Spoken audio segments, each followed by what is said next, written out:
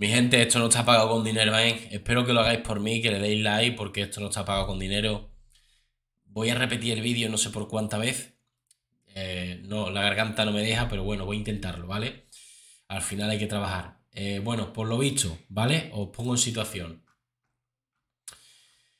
David Flores Carrasco, el dineral que le debe su madre y que se niega a pagar, ¿vale? Como sabéis, en un mes y pico tenemos juicio, Rocío Carrasco se enfrenta a su hijo David Flores, que en noviembre de 2021 demandó tanto a su padre como a su madre. Su padre en teoría ya lo pagó, ya lo comentó en un directo de YouTube, por la pensión compensatoria y la única eh, premisa que ponía era que si ellos se retiraban las demandas mutuamente, él se retiraba, retiraba la suya a sus padres, a los dos.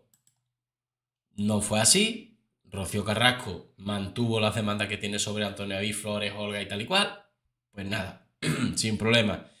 Antonio, o sea, David Flores las mantiene, su padre ya las pagó, Rocío Carrasco sigue sin pagarla y se van a ver las caras en el juicio, ¿vale?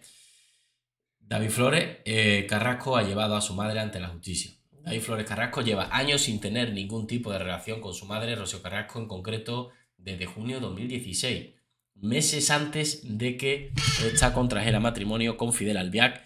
Según ella ha contado, fue el padre del, del joven Antonio David el que se lo llevó a Málaga y lo empadronó sin su consentimiento. Me imagino cuando esto se hace, hay demandas y las demandas se ganan, cuando tú no llevas la razón.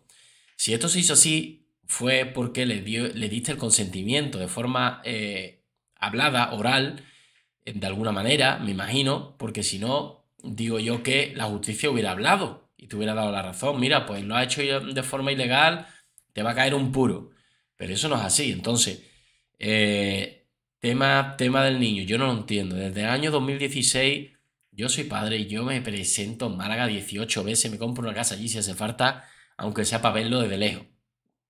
Pero que a mí me van a quitar y ya luego lucharía judicialmente por, por, por tenerlo. Pero claro, digo yo que cuando no ves a tu hijo desde ese año, no lo felicitas en los cumpleaños, las navidades, digo yo que muchas esperanzas no tiene en, quererlo, ¿no? O sea, es que no, lo, es que no lo quiere. O sea, otra cosa no me cabe en la cabeza.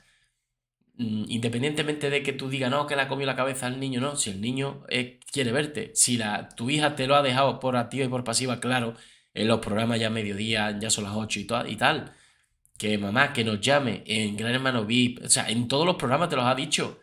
En Superviviente cuando estuvo, llorando por ti. Quiero que mi madre esté bien, quiero verla, quiero... Antonio David y Olga diciéndolo en un de luz. Ojalá recuperasen eh, la sintonía entre ellas. Yo quiero que mi hija se siga tratando con su madre. Tú has demostrado, o puedes demostrarle a David Flores que tú has luchado por él. Eso está ahí. Al final eso queda ahí. Y el tonto no es. Al final dirá, oye, mi madre no ha luchado por mí. Entonces, todos los que padres que se hayáis separado y se supone que, como dice ella, os haga la puñeta a la otra pareja, la, o sea, la otra parte de el padre o la madre, intentar que cuando sean adultos demostrarle que vosotros habéis luchado. Pero ese momento no llegará, ¿sabéis por qué? Porque si lucháis, al final lo conseguís. Conseguís mantener vuestra relación, mantenéis eh, lo que diga el juez, el tiempo estipulado y al final todo se arregla. Pero es que ella no ha querido saber nada de ello. Bueno, ese momento fue el que marcó un punto de inflexión en la relación de David con su progenitora, pero hay otro importante. Nos estamos refiriendo al momento en el que él la demandó por impago de su pensión alimentaria, por la que le debe una jugosa cantidad. David Flores Carrasco reclama dinero a Rocío Carrasco, el hermano de Rocío Flores, siempre se ha mantenido alejado de los medios y de los conflictos judiciales de sus progenitores sin embargo, se metió de lleno en estos últimos meses en noviembre de 2021. Lo que sucedió fue que su padre demandó a su madre por el impago de la pensión alimentaria del joven, pensión que una juez impuso a Carrasco que tenía que pasar a su vástago porque la enfermedad genética que tiene le, hace dependiente, ¿vale? Ella ponía excusa de que, bueno, la, excusa que pone ella legalmente, ¿vale?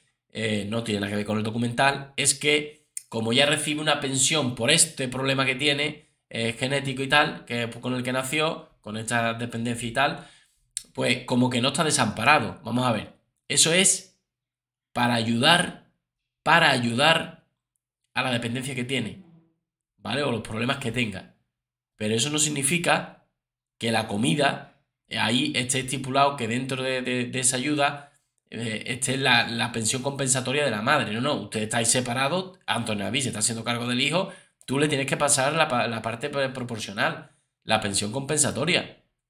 La ayuda es por otro motivo. Esa ayuda, en esa ayuda, a ti no te la está. El gobierno o el Estado no le está pagando a él tu pensión compensatoria, no. Eso lo estás eludiendo tú porque tiene una paga distinta. Que esa paga la tiene por otra cosa. Y tú ahí no, no te puedes justificar por eso. Bueno, concretamente el malagueño le reclamó a su ex los 200 euros mensuales que no le había pasado al chico desde hacía tres años aunque como David ya era mayor de edad, fue él el que tuvo que interponer la demanda por un delito de abandono de familia por impago de pensión y así ahora le reclama a Rocío el pago de 15.000 euros por más de 40 meses sin abonar aquella, lo que supone una cifra bastante elevada que para ella a lo mejor no será nada, pero según me dicen es insolvente y no lo va a pagar. Con lo cual, me parece bastante fuerte, bueno, ya lo veremos, ¿no? Es una, idea que tengo, según me dicen que no lo va a pagar.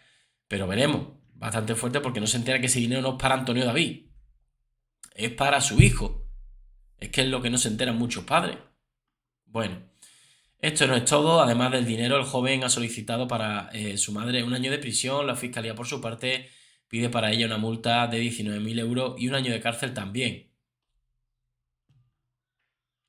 David Flores Carrasco debe ser consciente de que el paso que dio de demandar a Rocío va a traer consecuencias y no nos referimos a las que deriven de la sentencia, sino a otras previas que van a tener lugar en una semana. Se trata de que el próximo 14 de junio van a tener que encontrarse en el juzgado. El joven, después de siete años sin verla, va a estar cara a cara con su madre y es que va a tener eh, que declarar en dicho juicio contra ella.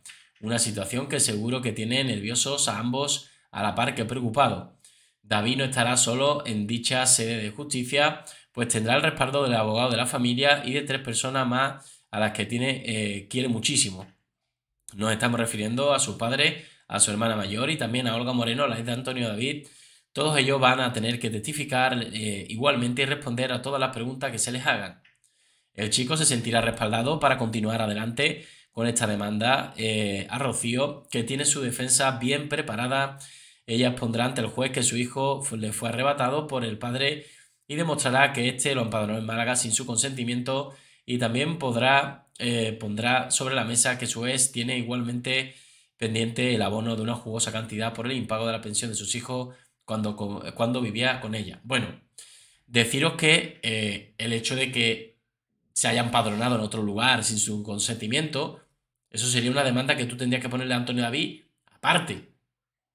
Pero eso no, eso no justifica que tú dejes de pagar a tu hijo la, pensión compensatoria. Eso es algo que tú tendrías que haber solucionado hace ya un montón de años.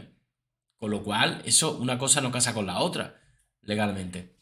Caso este último que se dirimirá ante un juez el 6 de julio, pues ha acabado derivando en un delito de insolvencia punible, de ahí que el malagueño se enfrenta a la petición para él de cuatro años de cárcel y el abono de 80.000 euros.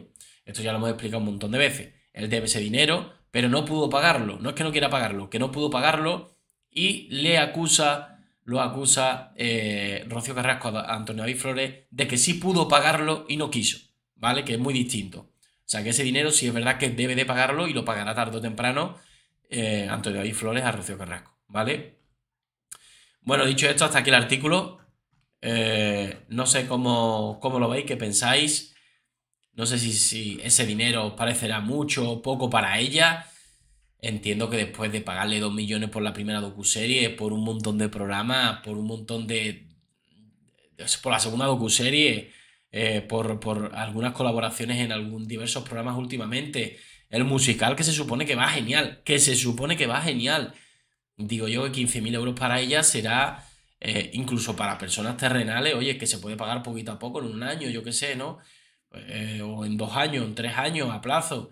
En fin, como el que se compra un coche, ¿no? De segunda mano, que es que no es ni, ni, mucho. En fin, gente, me gustaría que dejase vuestro comentario. Como ya sabéis, nos vemos en el siguiente vídeo con más información. Un saludo.